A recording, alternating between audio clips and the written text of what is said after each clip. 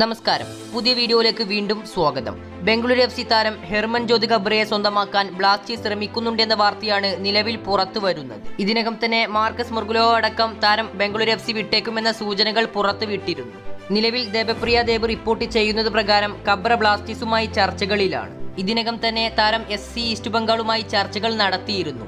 എന്നാൽ ആ ഒരു ടാൾക്ക് പാതിവഴിയിൽ അവസാനിക്കുകയായിരുന്നു. എസ് സി ഈസ്റ്റ് ബംഗാളുമായി താരത്തിന്റെ ചർച്ചകൾ അവസാനിച്ചതോടെയാണ് താരം ബ്ലാസ്റ്റേഴ്സുമായി ടാൾക്ക് നടത്തുന്നത്. ഇതിനകം തന്നെ ബ്ലാസ്റ്റേഴ്സ് താരമായിട്ടുള്ള രോഹിത് കുമാറിനെ ബംഗളൂരു എഫ് സി സ്വന്തമാക്കുന്നു എന്ന വാർത്തകളും പുറത്തു വന്നിരുന്നു.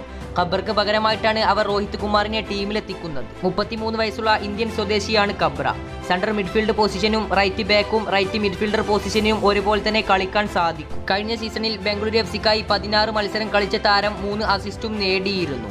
ഇതിനകം തന്നെ ഐ എസ് എൽ ക്ലബായിട്ടുള്ള ചെന്നൈയിൻ എഫ് സിക്ക് വേണ്ടിയും താരം ബൂട്ടണിഞ്ഞിട്ടു. എന്തായാലും ബ്ലാസ്റ്റേഴ്സ് ഗബ്രയുമായി ടാൾക്ക് നടത്തുകയാണ്. ആ ഒരു ടാൾക്ക് ഒരു സൈനിങ്ങിലേക്ക് എത്തുമോ എന്ന് നമുക്ക് കണ്ടു തന്നെ അറിയാം. ഇതിനെക്കുറിച്ചുള്ള കൂടുതൽ അപ്ഡേറ്റ്സുകൾ ലഭിക്കുകയാണെങ്കിൽ വീഡിയോ ചെയ്യുന്നതായിരിക്കും. കായിക ലോകത്തെ കൂടുതൽ വാർത്തകൾക്കും വിശേഷങ്ങൾക്കുമായി ചാനൽ സബ്സ്ക്രൈബ് ചെയ്യുക.